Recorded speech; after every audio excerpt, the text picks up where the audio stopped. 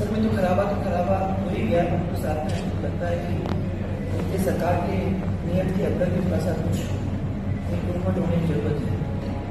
आके उनसे बात करने से या उनके आँसू पूछने की कोशिश करने से आँसू सूख गए तो क्या करें?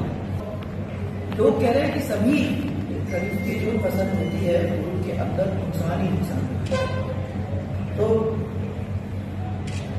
फ़सल में तो खराबा तो खराबा हो ही गया हमको साथ में लगता है कि ये सरकार के नियत के अंदर भी थोड़ा सा कुछ इम्प्रूवमेंट होने की ज़रूरत है।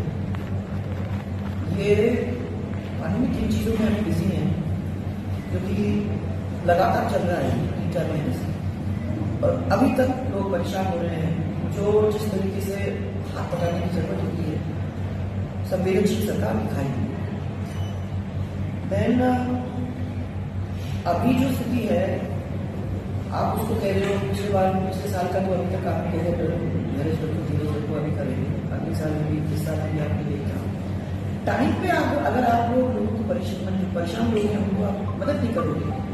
तो बाद में आके उनसे बात करने से या उनके आँसू पहुँचने की कोशिश करने से आँसू सूख गए तो क्या करोगे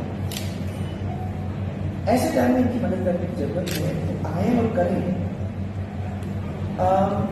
पहले आपदा में आपको याद होगा, पचास प्रतिशत जब इससे अधिक खराबा हो जाता था तो फिर तो मुआवजा मिलता था।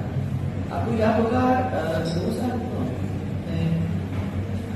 पाँच छः साल पहले जब एक बहुत नुकसान हुआ था, अरुण जेटली जी की डेथ के पहले।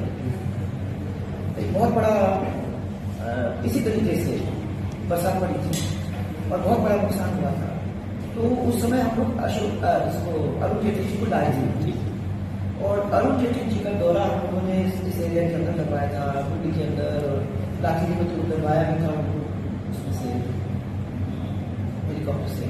कोटा झालावाड़ ये सब करवाया था। उसके बाद जब प्रेस कॉन्फ्रेंस की थी, उस प्रेस कॉन्फ्रेंस में उन्होंने ये कहा था कि आप लोगों की बात को हम लोगों ने सुनी और जो नियम है इसमें आपने ये कहा है कि पचास प्रतिशत से अधिक खराबा होगा तो,